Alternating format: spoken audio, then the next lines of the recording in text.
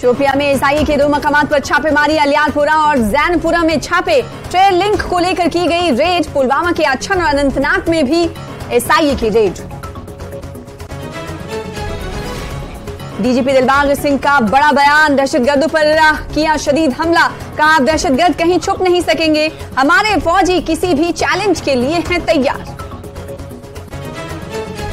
बारामूला में पुलिस की बड़ी कार्रवाई, दहशत गर्दों की मॉड्यूल का किया पर्दाफाश। दहशत दहशतगर्दों के तीन साथी गिरफ़्तार, असलहा गोला बारूद भी बरामद।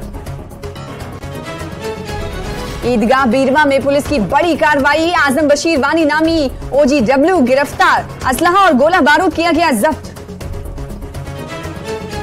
सबक वज़ीर आला महबूबा मुफ्ती का बड़ा बयान, कहा जम्मू कश्मीर के आबी वसाइल और मादिनात पर पहले ही किया गया है कब्जा। जीओआई ने जमाई जम्मू के लिथियम पर नज़रें।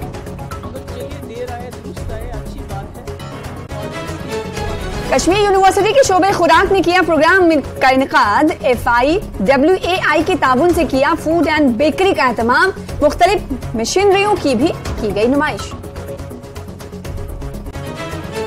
आलमी योम सयाहत के पेश नज़र तकरीबा कश्मीर में ग्रीन टूरिज़्म जोन को दिया जा रहा है फरोग। महकमे सयाहत ने टूरिज़्म स्टेक होल्डर्स के इश्तराक से किया प्रोग्रामों का सिलसिला शुरू। हिमाचल प्रदेश के नौजवानों को तकरूरी खत तकसीम। शिमला के गेटी थिएटर में रोज़गार मेले का किया गया इनका मरकजी वज़ीर अनुराग ठाकुर ने की शिरकत। 110 नौजवानों की तकरूरी के खतूत किए गए तकसीम।